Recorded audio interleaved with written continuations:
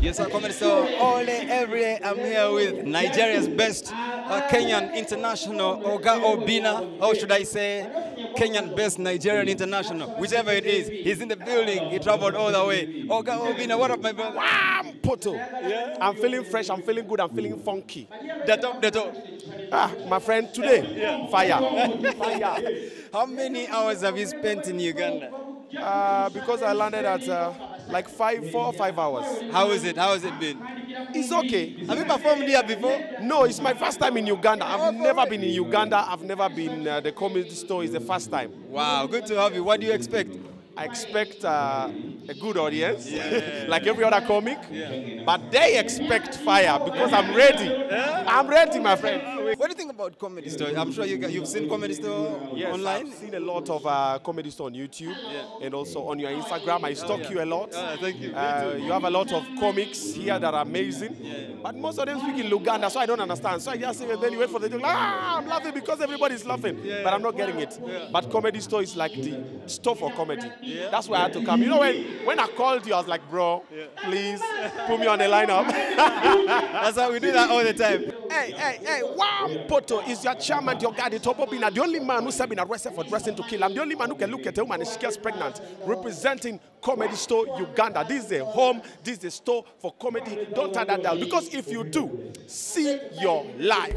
So, ladies and gentlemen, with a big round of applause, allow me welcome for the first time the one and only Oga Obinna. I'm saying, don't play that song now. They will say they were shouting free Bobby Wine. And then the police decided to free bullets. And then, if you are inside here and you know that you paid for the ticket to enter inside here with your money, by a show of hands, put your hands down. Okay, put your hand up. If you know you paid for your ticket, you did not ask for complimentary, you paid for your own money. Hand up. If you're putting your hand up and you know that you have no idea who bought for you the ticket, and you are a single lady, may you never get married in Jesus' name. Put your hand up. If you know there's somebody next to you, they did not pay ticket to come here today, tell them, see you are lying. Is it everybody? The slay queens, where are the slay queens? They are here. Have you guys been given a Wi Fi password? How now? I told Alex this is a big day. Okay, if you're here and you're on social media, please use the uh, password, the passkey. If you check, check, check, check. The, there's Wi Fi today. Alex Muhangi is the name. The password is BYOB. BYOB. That is buy your own bundles. Yeah. Hip hop is a culture that is known worldwide and it has its own rules. Hip hop as a culture dictates when you're a hip hop artist, when you dress up, you have to look as close as a slave as possible. Put every chain on your neck. That is why they call each other dog. What up, dog? Hip hop dictates when you're standing, you have to lean back. The COG has to drop. They call it swag. In the hip hop world, you have to have swag. Then your face for hip hop, if it's this one, your face, this one has to go up, you have sweat. then the words that come out of your mouth in the hip hop world has to be little. You cannot be having this face and this sweat, then you're there like, eh, eh, eh, eh. You have to have terrible words. Damn. Mother, dude. Hip hop as a culture dictates when you're walking. This leg should never pass this one at any given point. You pull it, you drop it. You pull it, you drop it. It's called swag. What up, dog? Go like, boo. like in the United States, these people believe in hip hop culture to the bone. That is why, if you go to the United States, these artists have something they call beef. I'm beefing with you. I'm going to. You know, they have beef. They are not talking with each other. One year, two year, they have beef. In Kenya, they have beef in the morning, by lunchtime they have eaten it already. It is bad. In the States, they have something they call drive-by shooting. In hip hop, somebody come with a car, They remove the window and pop up a. First kid can go. In Kenya, when you try that, you cannot manage. You come, window down, pop up a corner, jam.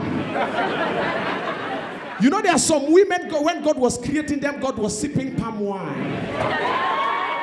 On a Sunday, when they say God was resting, God was relaxing, creating this madam. God was taking his time. God was having a conversation with the madam. He's like, my daughter, which type of skin color you want? I want a glowing one. Mba. God was calm. My daughter, which type of milk storage you want? I want obvious one. Mba. Daughter, which type of history do you want? I want a big one. Mba. Now when they're walking, they're walking like- they're feeling pain. Hey, na dollar oh. A hundred dollar. Okay. Is there any other person who's feeling like copying the imitation? Ladies are the only people that go around and say, "Mm, you know, nowadays I cannot date because all men are the same. My sister, who asked you to test all of them? if you're inside there and you've tested me, say I. Eh? Who? Ladies say, oh, nowadays you know I cannot be dating because all men are dogs. My sister, not all men are dogs. Some of us are monkeys. Look at me. When you stop a madam, excuse me, my sister, she's like, oh, you want to hit and run, eh? You want to hit and run like every other person, eh? You want to hit her. My sister, things have changed. In Kenya, as Timafisi, we don't hit and run anymore. We hit, we hit, we hit, we hit and hit and hit until you run.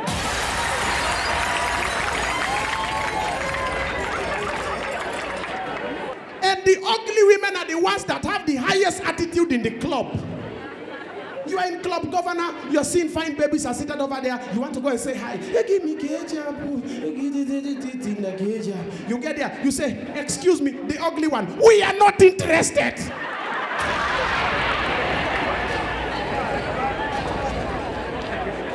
But there are some things that you can never teach anybody. Something like a prayer.